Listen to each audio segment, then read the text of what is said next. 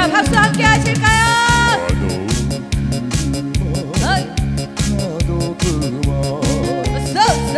건강의 길은 먼데 충청도 아줌마가 안삭도 길을 막네 주안상 그 앉은 사람은 술이나 따르면서 따르면서 내 소름 내 소름을 엮거나 오자.